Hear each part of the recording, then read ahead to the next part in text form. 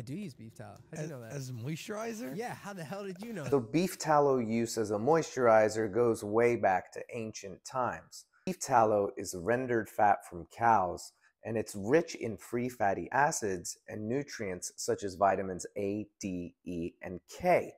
So when you use it on the skin, it can act as a potent moisturizer and restore the skin's barrier. But who wants to put actual beef tallow on their face? Because it can stink. If you're going to use beef tallow, there's actually skincare companies that make beef tallow as a skincare product. They remove the impurities and any contaminants and make it so it's properly absorbed into the skin. Because of its rich fatty acid content, using just regular beef tallow can clog your pores and actually lead to acne or worsen any existing acne. But honestly, there's way better moisturizers out there.